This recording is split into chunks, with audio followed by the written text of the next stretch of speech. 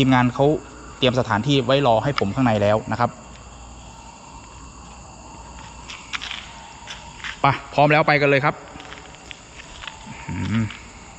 ตรงไหนเนาะเนี่ย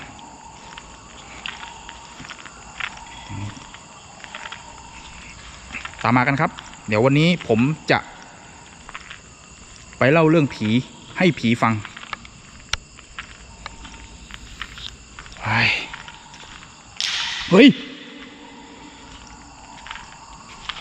โรงโรงงานล้างๆเลยนะครับเนี่ยล้างจริง ๆ เลยนะครับ อือหือลมเย็นครับเฮ้ย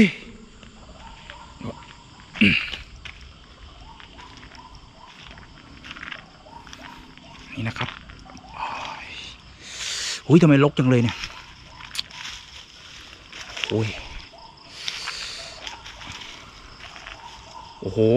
พอเดินออกมาจากตัวโรงงานนะครับ ผมได้ยินเสียงนกอื้อหือดูทางทีมงานเตรียมไว้ผม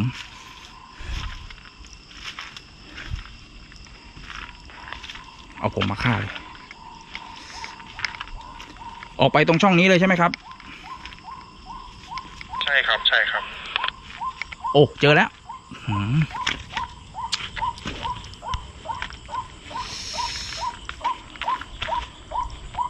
ได้ยินเสียงนกไหมครับ ผมได้ยินเสียงนกนะครับ ตอนเนี้ยโอ้โหดูที่ที่ทีมงานเตรียมไว้ให้ผม ซึ่งเมื่อสักครู่เนี่ยเขาบอกว่าถ้ามาเจอหลุมนะครับเฮ้ยอะไรวะทำโอ้ซึ่งเขาบอกว่าถ้ามาเจอหลุมนะครับ นั่นคือหลุมที่ที่เขาบอกว่าเอาไว้ที่เขาขุดเจอศพอุ้ยลิ้นพัน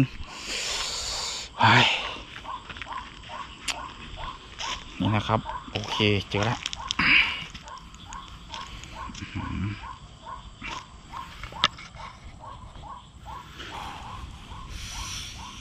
โอ้ยเสียวสันหลัง ก็ โอ้ยใส่ย้อย วันนั้นเนี่ย วันที่เกิดเรื่องเนี่ย ตัวแกได้รับมอบหมายให้ไปตรวจงานที่จังหวัดจังหวัดนี้ ซึ่งก็อยู่ไกลจากกรุงเทพพอสมควรนะครับ อยู่แถวภาคอีสาน ตัวคุณพี่ท่านนี้ก็ขับรถออกจากกรุงเทพช่วงหัวค่ำนะครับ ผมก็ขับไปเรื่อยๆขับไปเรื่อยๆพอผ่านจังหวัดนี้เนี่ย ช่วงเวลานั้นประมาณสักสี่ช่วงเวลานั้นประมาณสักสี่ห้าทุ่มนะครับ ผมสี่ห้าทุ่มรถแกเกิดเสีย พอแกกดตัวหาพวกบอกเฮ้ยพี่ตอนนี้ผมรถเสียอยู่แถวแถวๆบ้านพี่เนี่ยตรงบริเวณนี้ก็บอกบอกจุดจุดพิกัดไป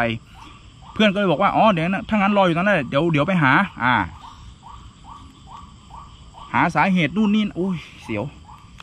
ก็พยายามหาสาเหตุนะครับ ผมหาสาเหตุว่ามันเกิดจากอะไร ระหว่างที่กำลังหาสาเหตุอยู่นั้นน่ะ ปรากฏว่าเพื่อนแกคนที่แกโทรหา ไม่รู้เดินมายังไง เดินแบบอยู่ดีๆก็มาโผล่ข้างหลังตรงหน้ารถเลยบอกเฮ้ยเป็นไงบ้างรถ แล้วก็มารูปหลัง แกก็เฮ้ยพี่มาได้ไงเนี่ยก็คือพยายามจะคุยกับกับเพื่อนคนรู้จักแกก็เลยบอกอ๋อเนี่ยบ้านมันอยู่ไม่ไกลก็เลยเดินมาดูสิเป็นยังไง แกก็พยายามช่วยกันหาสาเหตุนะครับ ก็คือหาสาเหตุกันอยู่พักนึงอะเฮ้ยเฮ้ยเฮ้ยเฮ้ยใครวะ ระหว่างที่พี่คนนั้นเดินไปสตาร์ทรถ ปรากฏว่ารถมันสตาร์ทติด มันติดขึ้นมาแบบชึ่งเลยคือยังไม่ได้ทำอะไรนะ บทจะดับก็ดับไปเรื่อยๆ แต่พอบทจะติดก็ติดไปดื้อๆเหมือนกัน ทีนี้แกก็ดีใจแล้วที่รถติด อ่า ก็เลยชวนพี่ชวนเพื่อน คนที่มีบ้านอยู่แถวเนี้ยขึ้นรถก็ไปเดี๋ยวจะไปส่งบ้านก็จะได้ไปไปไปนั่งเล่นบ้านด้วยกัน ก็ขับรถไปเรื่อยๆนะครับ พอขับรถไปเนี่ยมันก็ขับมาได้ไม่นานครับ ไม่เกินสองนาทีก็ถึงบ้านเขาแล้ว แต่สิ่งที่เขาเจอเนี่ย ในบ้านพี่คนนี้ก็คือกำลังมีมีการจัดงานศพอยู่แกก็ว่าเอ้าอุ้ยอุ้ยแล้วก็พอเวลาที่แกแบบใกล้จะเผาก็เอาออกอะไรประมาณนี้ครับ ผมก็คือตัวของผู้เล่าเนี่ยก็ นั่งต้องทำสติอยู่พักหนึ่งอะเพราะเมื่อกี้แกบอกว่าแกยืนยันว่าเจอจริง ๆ เจอพี่เอไปหาที่ตรงจุดจริง ๆ เฮ้ยอุ้ย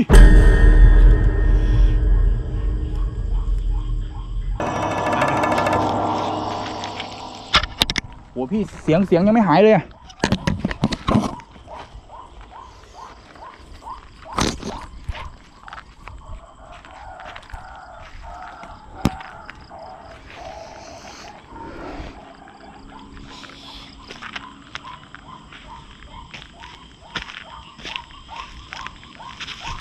อุ้ยอุ้ย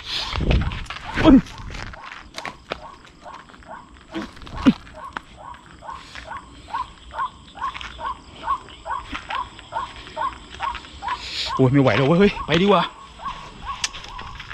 เฮ้ยเฮ้ยเฮ้ยเฮ้ยเฮ้ยเฮ้ยพี่พี่เฮ้ยโอ้ย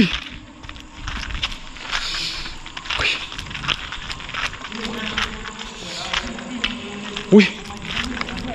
โหเป็นยังไงเป็นยังไงไม่เป็นยังไง เมื่อกี้ก่อนจะจบรายการน่ะ ผมได้ยินเสียงเหมือนคนร้องอะ ด้านในเหรอ ตรงฝั่งกำแพงน่าจะเป็นตรง